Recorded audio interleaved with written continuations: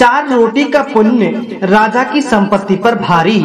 नमस्कार दर्शक बंधुओं, आपका अपने चैनल सतवीर ऑफिशियल में एक बार फिर से स्वागत है। मित्रों, बहुत समय पहले की बात है। एक छोटे से राज्य में एक न्याय प्रिय और दयालु राजा राज्य करता था। राजा अपनी प्रजा की भलाई और सेवा में विश्वास रखता था। उसका मानना था कि राज्य की संपत्ति और उसका वैभव तभी सार्थक है, जब प्रजा सुखी और समृद्ध हो। लेकिन समय के साथ राजा को यह गलत फहमी हो गई कि उसकी संपत्ति ही सबसे बड़ी शक्ति है और वही उसे महान बनाती है। राजा का नाम प्रताप सिंह था। उसके महल में बेसुमार धन दौलत थी। सोने चांदी के बर्तन, कीमती जवाहरात और अनगिनत खजाने। महल के चारों ओर सोने के सिंहासन, रत्न जड़ित पर्दे और नक्काशीदार दरवाजे, उनकी शान और रुतबे का प्रदर्शन करते थे। राजा को अपने इस वैभव पर बहुत गर्व था और समय समय पर वह अपने मंत्रियों और सलाहकारों को याद दिलाता रहता था कि उसकी संपत्ति से बड़ा कोई नहीं। एक दिन राजा के दरबार में एक साधु आया। साधु दिखने में साधारण था, लेकिन उसकी आँखों में गहरा ज्ञान था। उसने राजा से कहा, राजन, संसार में धन संपत्ति से भी बड़ी एक शक्ति है। राजा हंस पड़ा और बोला, इससे बड़ी कौन सी शक्ति हो सकती है, साधु? मेरे पास सोने, चांदी, हीरे, मोते और अनगिनत दौलत है। साधु ने शांति से उत्तर दिया, राजन, पुण्य की शक्ति धन से कहीं अधिक है। पुण्य का एक छोटा सा अंश भी अनमोल होता है और उसकी तुलना में आपकी संपत्ति कुछ भी नहीं है। राजा को साधु की बात सुनकर हँसी आई और उसने कहा अच्छा तो तुम यह कहना चाहते हो कि पुण्य मेरी संपत्ति से भी भारी है। मैं इसे कैसे मानूं? साधु ने मुस्कुराते हुए कहा, अगर आप चाहे तो इसे प्रमाणित किए जा सकता है। राजा ने उत्सुकता से पूछा, कैसे? साधु ने उत्तर दिया, आप अपनी संपत्ति और पुण्य की ताकत की परीक्षा कीजिए। अपने खजाने से कुछ धन निकालिए। और देखिए कि वह आपको क्या दिला सकता है। और फिर मैं आपको दिखाऊँगा कि चार रोटियों का पुण्य कैसे आपकी सारी संपत्ति से भी भारी पड़ सकता है। राजा को यह चुनौती रोचक लगी।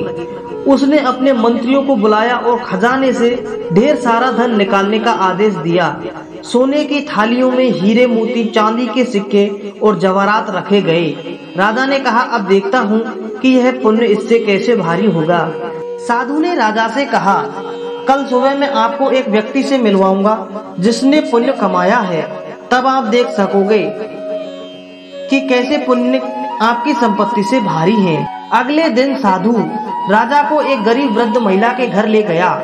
वह महिला अकेली रहती थी और उसकी स्थिति बहुत दयनीय थी। लेकिन साधु ने बताया, यह वृद्धा प्रतिदिन चार रोटियाँ बनाती है दो रोटियाँ वह अपने खाने के लिए रखती है और बाकी दो रोटियाँ भूखे को दान कर देती है। उसका यही पुण्य आपकी संपत्ति से भारी है। राजा को यकीन नहीं हुआ। उसने कहा, यह कैसे संभव है? इस गरीब महिला की चार रोटियों का पुण्य मेरे खजाने से भारी कैसे हो सकता है? साधु ने कहा, यदि आप चाहे तो इसे परख सकते हो। साधु ने वृद्धा से कहा, माँ, आज तुम्हारी बनाई चार रोटियाँ हमें दे दो। वृद्धा ने शहर चार रोटियाँ साधु को दे दी। साधु ने उन चार रोटियों को राजा के सामने रखा और फिर राजा की संपत्ति को भी मंगवाया। अब राजा और उसके दरबारी उत्सुक थे कि उसके आगे क्या होगा। साधु ने एक तराजू मंगवाया और पड़ले में चार रोटियाँ रखी और दूसरे पड़ले में राजा की सारी संपत्ति। सोना, चांदी, हीरे, मोती राजा और दरबारी यह देखकर स्तब्ध रह गए कि चार रोटियों का पलड़ा भारी हो गया। साधु ने कहा, देखा राजन, पुण्य हमेशा भारी होता है। यह चार रोटियाँ उस वृद्ध का पुण्य का प्रतीक है, जिसने अपनी भूख को भुलाकर दूसरों को अन्न दिया। अपनी संपत्ति चाहे कितनी भी बड़ी क्यों न हो, लेकिन पुण्य के सामने उसका कोई मोल नहीं है। राजा ने यह चमत्कार देखा और उसकी आँखें खुल गई। उसे एहसास हुआ कि सच्ची महानता संपत्ति में नहीं, बल्कि दूसरों की सेवा में ही है। उसने अपने घमंड को त्याग दिया और साधु से क्षमा मांगी। राजा ने प्रण लिया कि अब से वह अपनी संपत्ति का उपयोग प्रजा की भलाई और जरूरतमंदों के लिए मदद के लिए करेगा। साधु ने राजा को आशीर्वाद दिया और कहा, हे राजन, सच्ची शक्ति पुण्य में ही है। धन्य और संपत्ति क्षणक है, लेकिन पुण्य का फल चिरस्थायी होता है। राजा ने अपने जीवन में इस सच्चाई को अपनाया और अपने राज्य में खुशहाली और समृद्धि फैलाने का काम शुरू किया। उसने अपनी संपत्ति से गरीबों की मदद की, भूखों को भोजन दिया और जरूरतमंदों के लिए आश्रय बनवाया। धीरे धीरे उसके राज्य में हर व्यक्ति सुखी और संतुष्ट हो गया। इस प्रकार साधु के उपदेश और वृद्धा की चार रोटियों के पुण्य ने राजा की संपत्ति पर भारी पड़ते हुए उसे जीवन का सबसे बड़ा सबक सिखाया। कि सच्ची संपत्ति पुण्य में ही निहित होती है। तो प्रिय दर्शक बंधुओं उम्मीद है आपको यह कहानी कथा स्टोरी ज़रूर पसंद आई होगी। वीडियो अगर आपको अच्छी लगी हो तो प्लीज़ वीडियो को लाइक और चैनल को सब्सक्राइब ज़रूर कर लें, ताकि जब भी हम ऐसी ही रोचक कहानी कथा स्टोरी वीडियो डालें तो सबसे पहले आप देख सकें। मित्रों, वीडियो में अंत तक बने रहने के लिए आपका बहुत बहुत धन्यवाद।